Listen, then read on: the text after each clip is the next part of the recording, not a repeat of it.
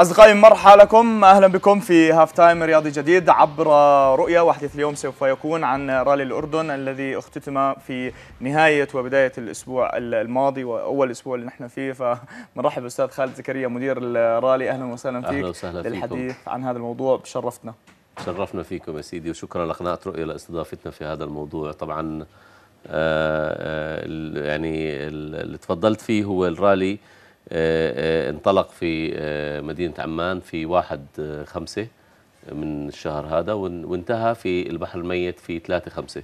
نعم. طبعا الإشي اللي الواحد بحب يحكي فيه اللي هو إنه الثلاث أيام الرالي هدول الناس بتشوفهم اللي هو واحد اثنين ثلاثة خمسة بسبقها تحضير أشهر.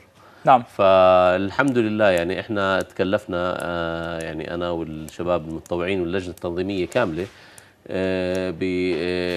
بتنظيم رالي الأردن لعام 2014 يعني بخلال شهر أواخر شهر اثنين من عام 2014 وكان الوقت كثير ضيق بالنسبة لنا بس الحمد لله استطعنا أنه ننجز كل المتطلبات اللي بتطلبها الاتحاد الدولي لرياضة السيارات وننجزها بشكل مفصل ودقيق. يا سيدي واجهتنا بعض الصعوبات بس بنحكي فيها هلا بعد بالتأكيد. برحب بالسيد حسام سالم أكيد زميلنا وأخونا وجزء من عائلة رؤيا دائما يعني المتسابق الأردني المعروف. أهلا وسهلا فيك والحمد لله على السلامة اول شيء وألف مبروك أيضا كان ترتيبك الثاني على المتسابقين الأردنيين. الحمد لله.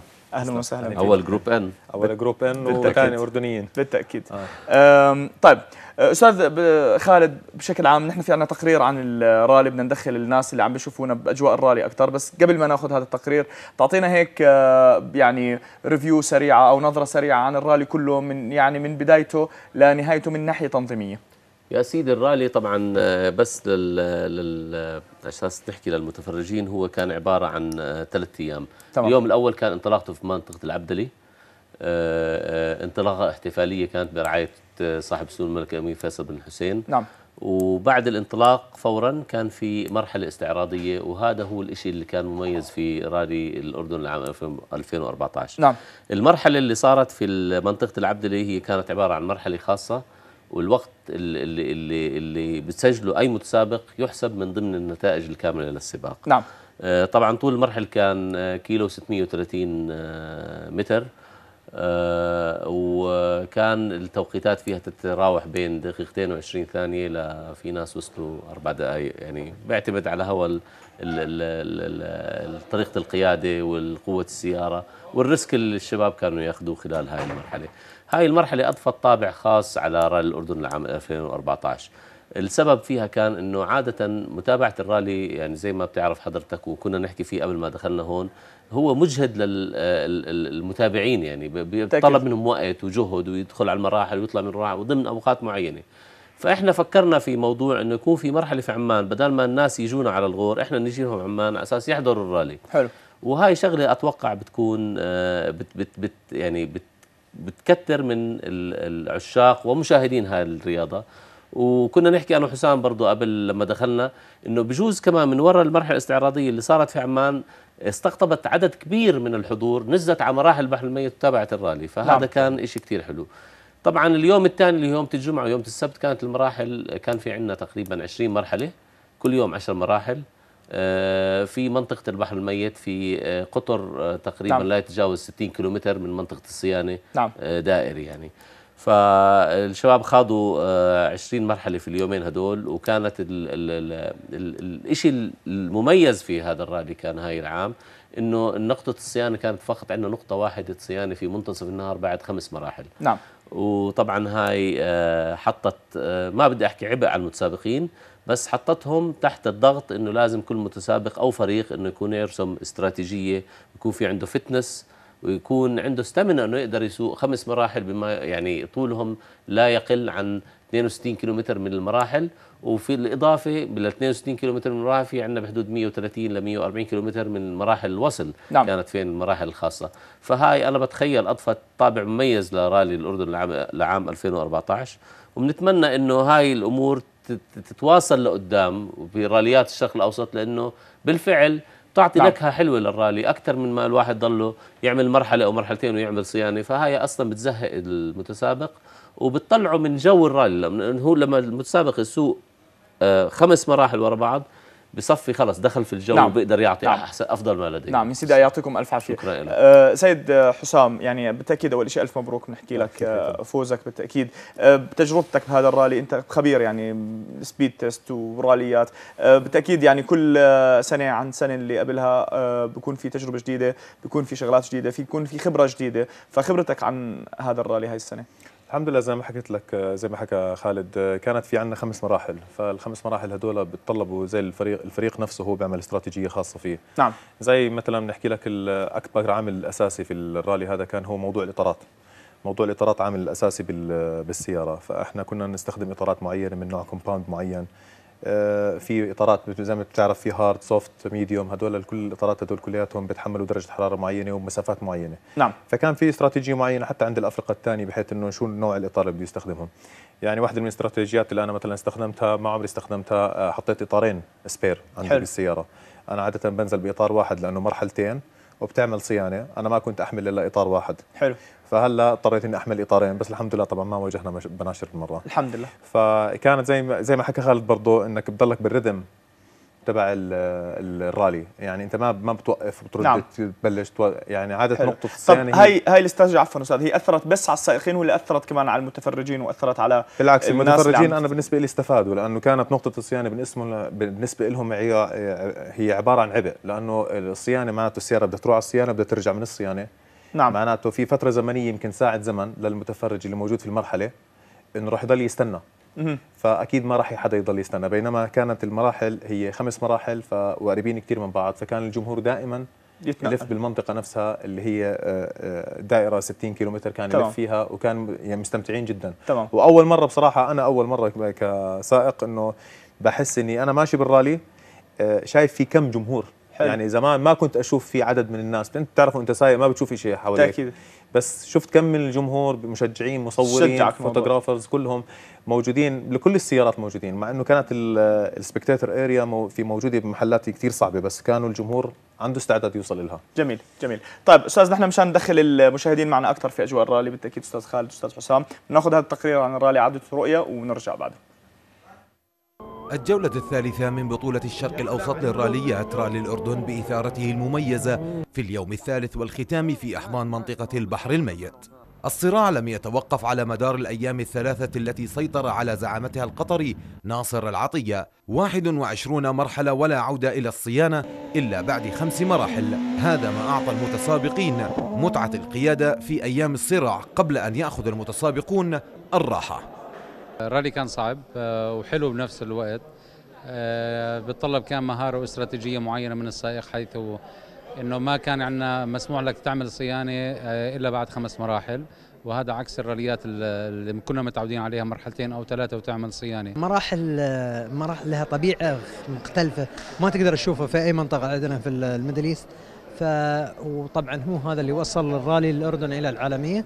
وإن شاء الله نشوف السنة الجاية في بطولة العالم. اليوم الأخير للسباق تسارعت به الأحداث ولم يتنحى البطل العطية الذي أصبح برصيده 75 نقطة تاركا المركز الثاني للاماراتي خالد القاسمي برصيد 51 نقطة لينهي عبد الله القاسمي قصة المركز الثالث بعدما سيطر على مجريات السباق من الأردني معروف أبو سمرة. جدا مبسوط بهذا الفوز العاشر في رالي الأردن ورالي الأردن من أحلى الراليات عندي. أتمنى إن شاء الله التوفيق في المراحل الجاية. الأمير فيصل بن الحسين تقدم إلى المنصة ليتوج الأبطال بالمراكز الثلاثة الأولى. القطري العطية سطر اللقب العاشر له والثالث على التوالي بأحداث رالي الأردن وبزمن ثلاث ساعات وثلاثة وخمسون ثانية لينهي خالد القاسمي الرالي بالمركز الثاني بفارق دقيقتين عن البطل. ليقف معروف أبو سمرة بالمركز الرابع ويتوج الأردني حسام سالم ومن لاحته نانسي المجالي بالمركز السادس. ليتمكن السالم أيضا من الحصول على المركز الأول للفئة إن. هكذا يزدل الستار عن النسخة الثانية وثلاثين لرالي الأردن والسيطرة المحكمة القطرية كانت حاضرة وهذه المرة للسائق القطري. ناصر العطية والغياب الأردني يستمر عن هذه المراكز الثلاثة الأولى. يوسف المستنجي رؤيا.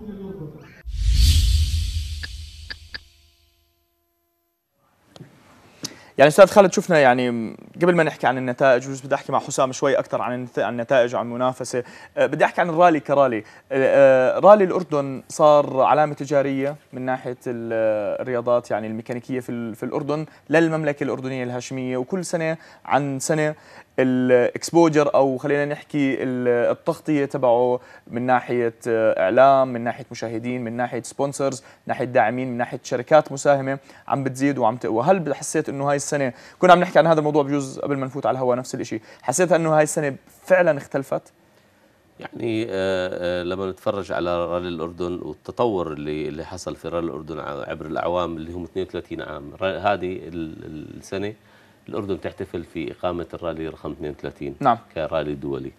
آه، طبعا إحنا في عام 2008 استطاعت الأردن الوصول للعالمية وكان عندنا أول رالي WRC. نعم. آه، ما بخفي عليك يعني وصول الأردن للراليات العالمية هذا آه، بحد ذاته شهادة من الاتحاد الدولي لرياضة السيارات أنه التنظيم عندنا وصل لمراحل جدا متقدمة في إدارة الراليات. نعم. طبعا هاي السنة آه، لاحظنا عدد أو كم جيد من الداعمين الرئيسيين للرالي ف نعم. يعني كان في عندنا شركات كبيرة دعمت الرالي وكانت موجودة في خلال مجريات الحدث كامل منها العبدلي البوليفارد زين مدى آه، كوكاكولا وفي كمان مشروب الطاقة الجديد آه، آه، فهدول كانوا موجودين كلهم في الرالي آه، في سنين ماضية بصراحة ما كنا نشوف في آه، رعاة للراليات لتنظيم الرالي. كان السائقين برضه يستصعبوا في الحصول على رعاة. نعم. أنا بتخيل إنه الإكسبوجر زي ما حكيت هاي السنة آه، صار الرالي يوصل لمناطق أكثر في الأردن وتغطيته صارت منيحة. وصاروا الرعاة إنه يستفيدوا أو يحسوا إنه في فائدة من رعاية أحداث مثل رالي الأردن جميل. وفي تغطية جميل. لهيك أحداث أساس يأخذوا المردود المادي هم برضه حلو كثير. حلو كثير أستاذ أنا بدي أرجع لك بعد الفاصل عشان نحكي شوي عن المنافسة وعن آه، فوز العطية أكيد بال- بالمركز الأول ومنافسة يعني السائقين الأردنيين ولكن مضطرين ناخذ فاصل آه، بعد إذنك وبعد إذن الاستاذ فأصدقائي خليكم معنا فاصل قصير ونعود لهاف تايم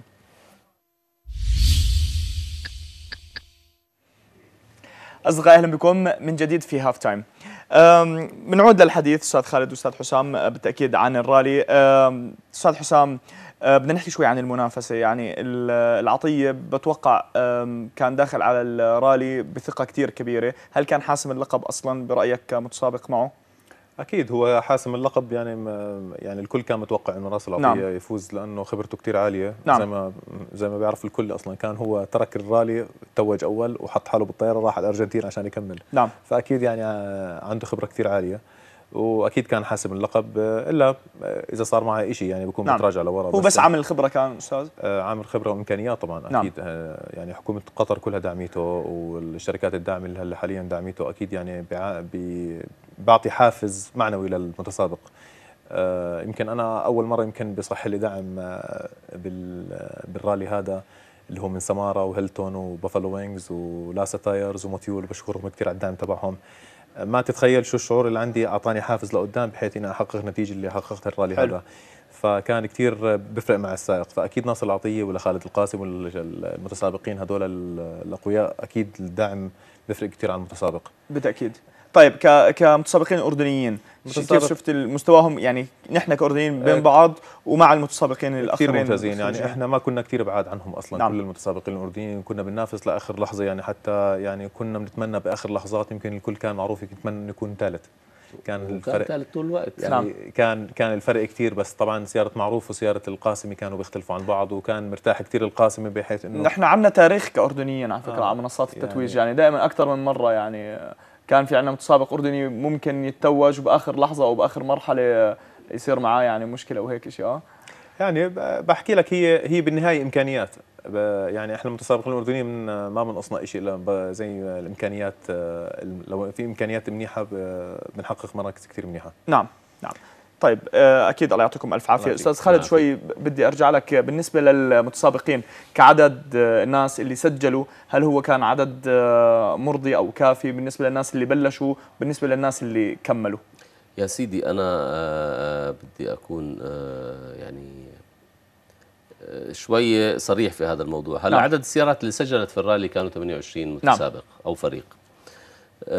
هل هو عدد منصف؟ يعني لل حجم يعني الرالي؟ اذا بنحكي لل- لبطولة الشرق الأوسط في في في وضعها الحالي أوكي هو عدد آه، بنقدر نحكي بالممتاز. تمام. أوكي بس إذا بدنا نقارن بطولة الشرق الأوسط زي لما كنا لما أنا بلشت راليات بال 86 كانوا عدد عدد السيارات اللي تشارك تتجاوز يعني توصل 60 سيارة واللي يرفضوا السيارات أكثر من اللي شاركوا فيعني طبعا هناك في عدة عوامل عن عزوف الشباب إنه يشاركوا في الراليات أول شيء آه، ما فيش sponsors كافية زي ما الكل بيعرف هذا الحكي وهاي رياضة مكلفة.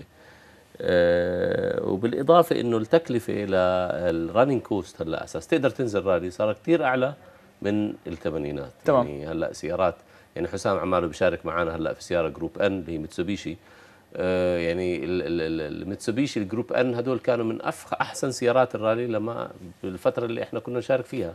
أنا فزت في أنا كنت بجانب آه، أمجد فرح بال 2004 وفزنا في رالي الأردن وكان أول فريق أردني بيفوز ولغاية اليوم ما في فريق أردني بصراحة فاز يعني. برالي الأردن كنا عم ميتسوبيشي إيفو بس كانوا السيارات كلهم بهذا المستوى. هلأ إحنا بنحكي في عندنا الفورد وفي عندنا ال ال ال ال ال هدول 1.6 turbos هدول السيارات الجداد. هدول سيارات بطولة عالم. هاي يعني كلفة السيارة بتجاوز أعماله 300 و 400 ألف يورو. أوكي؟ بدون spare parts بس بدك تجيب spare parts وصيانة وهذا فبتدفع بتدفع مبالغ طائلة. آه فهذا واحد من الأسباب اللي بيخلي أعداد السيارات تتناقص. بس أنا برأيي إنه آه يعني آه في آه عبء كبير على الاتحادات وعلى النوادي العربية بصراحة. آه لازم يكون في هدف آه بكل اتحاد أو نادي عربي كل سنة يرفدوا عدد معين. يعني يكون الهدف تبعهم إنه استقطاب عشرة مثلا عشر آه سائقين جداد لخوض منافسات رياضة السيارات بك- بكاف بكافة صورها يعني سواء حكينا go-karting أو speed test أو drift أو الراليات بهاي الطريقة أنت إذا يكون الهدف لكل مدير أو رئيس اتحاد أو مدير في في منصبه اللي هو بيكون بال بال بالأندية الرياضية أو الاتحادات إنه يستقطب عدد جديد من محبين رياضة السيارات إنهم يصيروا ينافسوا في الرياضة هاي إحنا هيك بنرد بنعيش الرياضة. تمام. أنا بصراحة يعني أنا واحد من الناس أنا أنا ومعروف جيل واحد وكنا بنشارك من 86 أنا وق... يعني آه، يعني آه، وقفت مشاركاتي في الراليات بال 2006 خلص نعم. كفي. يعني لغاية اليوم معروف بشارك ومعروف بطل. بس لازم يصير في ناس تاني تحت معروف. بصيرش إحنا نحكي معروف ونوقف عند معروف طب مين بده يحمل الرايه بعد معروف؟ بالتأكيد بالتأكيد. فهذا هو اللي إحنا عم نوصله في كل الرياضات في ال في, ال في الوطن العربي. بدنا succession planning يعني أنا برأيي هاي واحدة من النقاط كثير مهمة 100% في الرياضات يعني. 100% عفوا أستاذ حسام نحن دائما الوقت بيسرقنا يعني ودائما بيكون آه، توقيت برنامجنا أقصر من حجم ضيوفنا. آه، ولكن تجربتك آه، يعني مع نانسي مثلا كملاحة هاي المرة كيف كانت؟ إيش إيش اختلف معك؟ الحمد لله. طبعا نانسي دائما هي موجودة معي من بدايتي بالراليات وهي يمكن ال- العنصر الأساسي لي في خوض المعارك هاي كلياتها وهي اللي اللي حطتني على الطريق الصح. في بدايتي في بدايتي. والحمد لله بالرالي الأخير هذا كان السنكرونايزيشن بيني وبينها كثير قوي. حلو. فلدرجه إنه- متواضع آه، أنت أساسا لا بالعكس لا بالعكس هي لها فضل. كثير آه، كبير. علي. آه، آه، احترام. وبالعكس هي لها فضل كثير علي. والحمد لله الرالي هذا تبعنا خطة معينة. كانت السيارة كثير مجهزة ببدايتها. وزي ما بيحكي الواحد فيها حيل هلأ. فال tires جديدة البريكات جديدة كل شيء جديد.